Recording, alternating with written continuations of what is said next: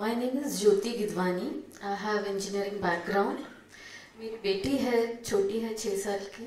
छः साल के बच्चों को तो सर लेते नहीं, इसलिए मुझे आना पड़ा। दूसरी बात यह है कि इन 86 आई पास माई ट्वेल्थ उसके बाद मैंने एक स्वामी विवेकानंद की बुक पढ़ी। उसमें ये था कि उनकी फोटोग्राफिक मेमोरी थी। And I felt very sad कि वो तो अब है नहीं। तो हमारे देश को कैसे मिलेगा ये सब? उसके बाद आई सेड ओके रीबर्थ तो होगा.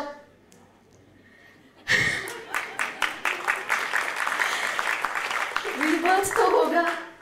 और वही सब फीचर्स वही सब क्वालिटीज मैं सर में देख रही हूँ। इतनी यंग एज में इतना अचीवमेंट इतना एग्रेशन के साथ में इतने प्यार के साथ में सबको पढ़ाना सिखाना।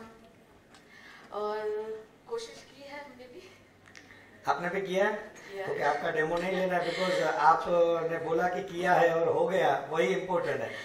फिर जब एड आया तो उसमें जब मैंने स्वामी विवेकानंद का फ़ोटो देखा फिर मुझे लगा बस जाना ही है। Thank you very much Swami Vivekananda ji तो बहुत ही महान थे लेकिन उनके विचार को ज़रूर हम फॉलो करते हैं। और क्लास में भी बच्चों को मैं हर रोज कुछ ना कुछ जो बातें बताता तो उसमें स्वामी विवेकानंद जी का एक सेंटेंस ज़रूर होता था।